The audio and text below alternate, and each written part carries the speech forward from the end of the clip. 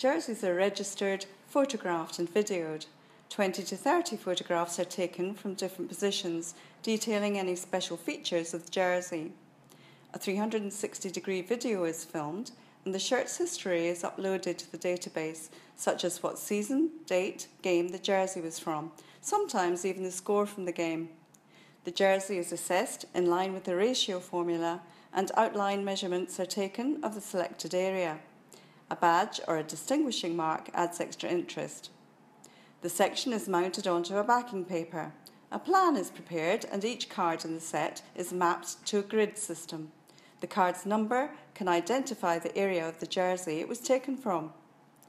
Bespoke dies are made to cut the sizes and shapes for one, two, three, or more pieces of memorabilia needed for the different cards in the collection.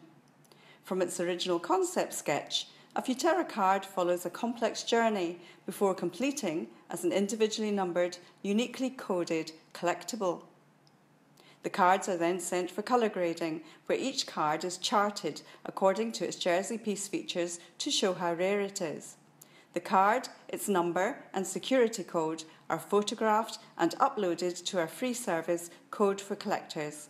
There you can enter your card's code online to get information about your card's features, history and rarity. Memorabilia sets include a player's game-worn jersey, parts of the boots, the ball, and the autograph cards are actually signed on card directly by the player. So this gives collectors an opportunity to feel that they're sharing a part of the player's history.